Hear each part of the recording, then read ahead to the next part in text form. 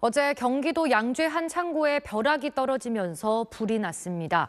어젯밤 부산에선 번개와 함께 우박이 쏟아지기도 했습니다. 사건 사고 소식 최승훈 기자가 취재했습니다.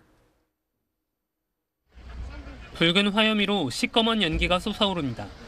어제 오후 4시 50분쯤 경기 양주시의 한 원단 창고에 불이 났습니다. 소방당국은 창고에 벼락이 떨어지면서 불이 시작된 것으로 보고 있습니다. 미사일이 떨어지는 정도의 창문 유리창이 덜컹거리는 소리가 나면서 벼락이 떨어져서 한 1, 20분 후에 이제 불이 불은 3시간 반 만에 완전히 꺼졌습니다. 다친 사람은 없었지만 원단 약 70톤이 모두 타면서 1억여 원의 재산 피해가 났습니다.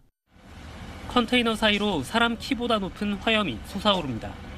오늘 새벽 1시 10분쯤 인천 계양구의 한 고물상에서 불이 났습니다. 약 1시간 만인 새벽 2시 10분쯤 꺼졌는데 다행히 다친 사람은 없었습니다. 어제 오후 5시 50분쯤 전주 덕진구의 상가 1층에서 시작된 불은 약 300만 원의 재산 피해를 내고 1시간 만에 잡혔습니다. 소방당국은 분전반 전기 설비에서 불이 시작된 것으로 보고 있습니다.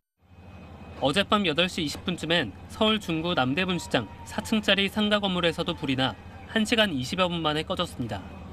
건물에 있던 70대 여성 1명과 80대 남성 1명이 스스로 대피하다가 연기를 마시고 화상을 입어 병원으로 옮겨졌습니다.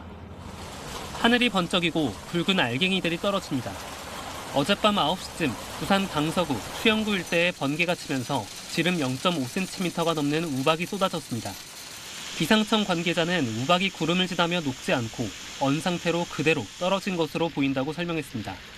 부산 소방재난본부는 우박과 관련한 피해는 현재까지 접수된 건 없다고 밝혔습니다.